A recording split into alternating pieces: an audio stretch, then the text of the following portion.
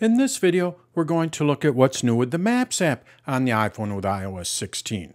We're specifically going to look at multi-stop routing and how you can schedule routes. And when you schedule a route, what it'll do is it'll give you time based on traffic predictions. Let's see what I mean. Let's go over to my iPhone. So I'm looking at my iPhone. Let's go and open up the Maps app. Let's first look at multi-stop routing. What we're able to do now is add multiple stops.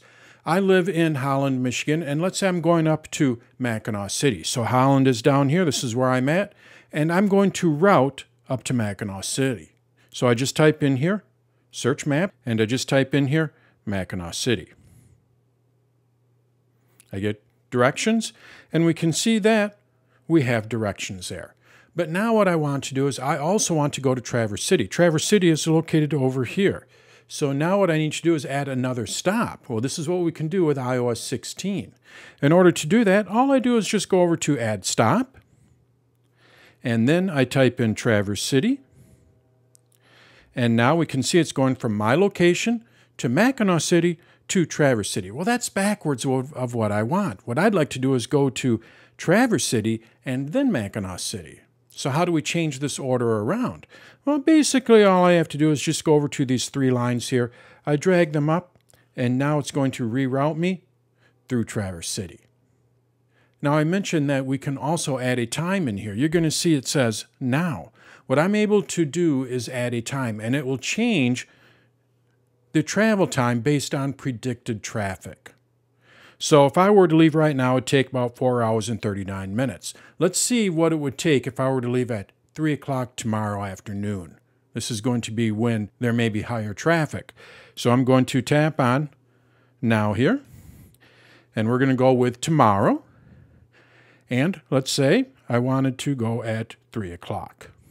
Now I could also, you're going to see up at the top here, I could also set when I want to arrive by. I'm just going to have it at leave at. So now I just tap on done. And remember, it was about 4 hours and 30 minutes. It's calculating. It will add, looks like about 20 minutes. So there's a little bit more traffic if I were to leave at 3 o'clock. Let's just see what happens when I leave at 2 o'clock. Maybe I need to leave an hour earlier. So now I just tap on it again. And this time we're going to go with 2 o'clock. Maybe I can save my save some time just by leaving a little bit earlier. Well, it looks about the same there. So I can leave at 2 o'clock or I can leave at 3 o'clock and it really wouldn't matter.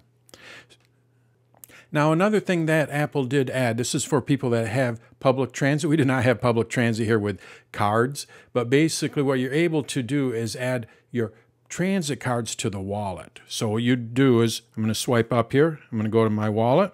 What you do is you would find your transit cards here in your wallet. You'll be able to see what your balance is and replenish your card. And it'll give you a warning when it gets low, and then it'll open up in the Maps app and you can replenish it. So that is what's new with the Maps app on the iPhone with iOS 16. Probably the biggest thing is multi-stop routing. And what you can do is you can set when you are going to leave or when you want to arrive by, and then it'll predict traffic based on different traffic patterns. And for those of you with public transit, your transit cards are now going to be located in the Wallet app. So that is what's new with the Maps app on the iPhone with iOS 16.